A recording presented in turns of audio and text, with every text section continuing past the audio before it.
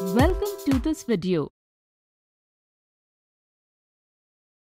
In the previous video, we learned about the median of ungrouped data. Today in this video, we will learn to find the median of grouped data. The following distribution table depicts the points obtained by 120 players participating in sports competition. So, can you tell what is the median of the points received by the players? Let's see. Let us first discuss the given table. If you were asked how many players got less than 10 points, would you be able to tell? Absolutely correct. 5 players scored less than 10 points. Now tell how many players got less than 20 points? No. If you think 9 players, it would be a wrong answer. Rather here, the number of players scoring less than 20 points will be 14. Because here, those players will also be included who have scored points between the class interval 0 to 10. And those players will also be included who have scored between class interval 10 to 20 where 14 is the cumulative frequency of class 10 to 20. Similarly, we will find the cumulative frequency of all other classes.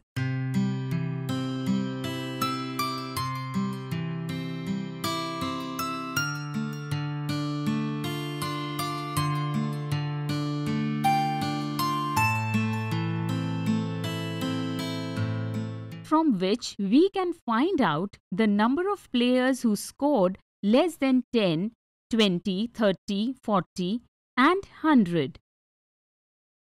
This type of distribution is called the cumulative frequency distribution of the less than type. Where 10, 20, 30, 40 and 100 are the upper limits of the corresponding class intervals. But because of the given distribution, if you are asked how many players got more than or equal to 0, then will you be able to tell? Absolutely correct. Here, all 120 players have scored more than or equal to 0. Similarly, if we count the number of players who scored more than or equal to 10, then their number will be 115. Because 5 players have already scored the points of the class before that, that is, the class interval between 0 and 10. In this way, we construct a cumulative frequency column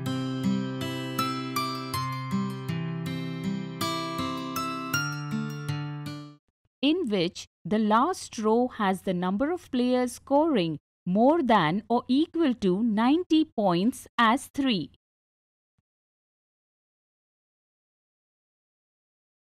This type of distribution is known as the cumulative frequency distribution of the more than type. Since we have to find the median of the given data, so can you tell what we need to do for this? Absolutely correct. Use either of the above cumulative frequency distributions to find the median. Here, let's select the less than type of distribution, with the help of which we will find the observation that is at the center of the grouped data, which divides the data into two equal parts. You can see that here n is equal to 120 which is an even number. Therefore, if the number of observations is even, the median observation will be n by 2.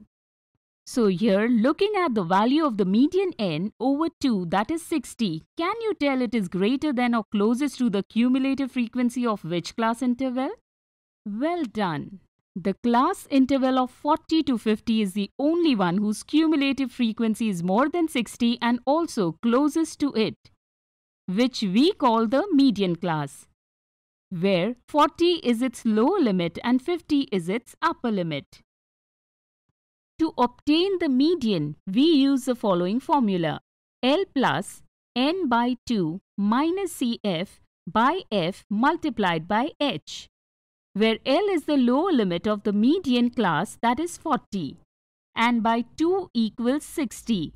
CF is the cumulative frequency of the class immediately preceding the median class that is 52. F means the frequency of the median class that is 26 and H is the measurement of the class that is 10. Substituting these in the formula and solving it gives 43.07. So we can say that the median of the points obtained by the players is 43.07. This means that approximately 50% of the players have got points less than or equal to 43.07 and the remaining 50% of the players have got points more than or equal to 43.07. In this video, today we learned to find the median of grouped data. In the next video, we will see interesting examples based on this.